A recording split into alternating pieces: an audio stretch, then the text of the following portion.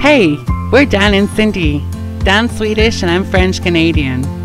In March 2022, we bought this amazing piece of land in North Portugal and we plan to turn it into a thriving homestead with majestic public garden.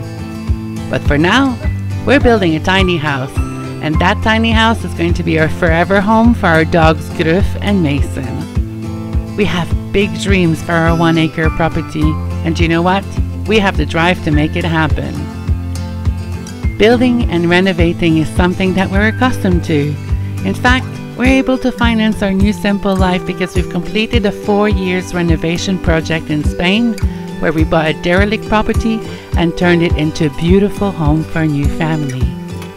Dan's a trained carpenter who's worked several years in the building industry doing different jobs.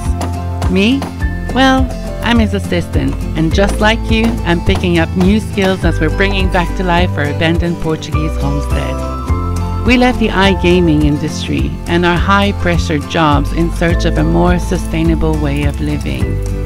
But more importantly, Dan and I love to spend every second of the day in each other's company because we know that together we can achieve the impossible.